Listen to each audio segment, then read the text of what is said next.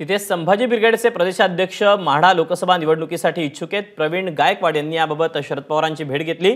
मोहिते पाटील माढा लढणार असतील तर मी इच्छुक असल्याचं गायकवाड यांनी म्हटलेलं आहे. माढा लोकसभेसंदर्भात आता शरद पवार नेमका काय निर्णय घेणार याकडे सगळ्यांचं लक्ष लागलं आहे दरम्यान प्रवीण गायकवाड हे शरद पवार यांच्या जवळचे असल्यामुळे त्यांना उमेदवारी देऊन शरद पवार काही नवी खेळी खेळणार का अशा चर्चा आता राजकीय वर्तुळात सुरू झाल्या एबीपी माझा. उघडा डोळे बघा नीट.